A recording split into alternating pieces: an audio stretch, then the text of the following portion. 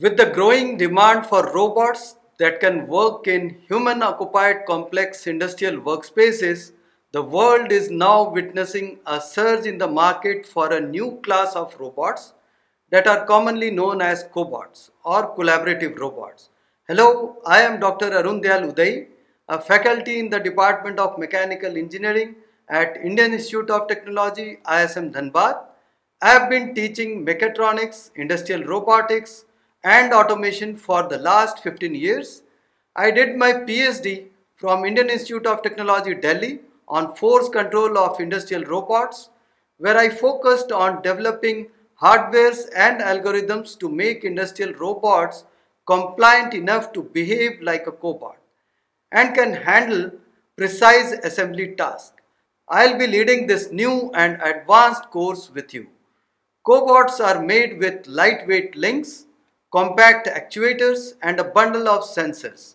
Such a design renders them to outperform classical industrial robots in terms of applicability, ease of programming, deployment time and cost effectiveness with enhanced safety of humans and environment around them. These robots are mainly sought to do non-repetitive tasks of low payload capacities in automotive, food and beverage, furniture and equipment, plastic and polymers, electronics, pharma, metal and machinery industries. And of course, as a service robots in medical and domestic workspaces.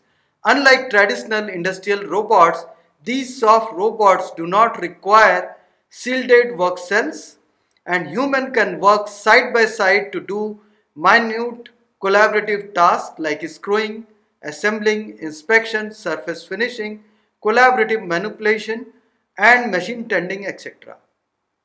Cobots are expected to revolutionize small and medium scale enterprises that have production runs in small batches and assembly lines with multiple products. The global collaborative robot market is projected to grow to 11.02 billion US dollars by 2030 at a compound annual growth rate of 32%. This growth would require a huge number of skilled human resources produced by the technical universities and industries. Equivalent contribution from new startups are expected for new designs and innovation that can integrate these robots into existing autonomous systems. The existing market players include manufacturing giants of industrial robot manufacturers with little or no share from robotics startups. This imbalance and lack of competitiveness have led to an exorbitant pricing of cobots. The scarcity of cobot makers may be attributed to the advanced technical know-how that is required to understand, design, manufacture and test any cobot to put before any human robot workspace safely.